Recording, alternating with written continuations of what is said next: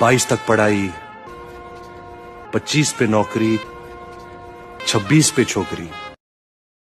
तीस पे बच्चे, साठ पे रिटायरमेंट और फिर मौत का इंतज़ार। ऐसी घिसी पिटी लाइफ थोड़ी जीना चाहता हूँ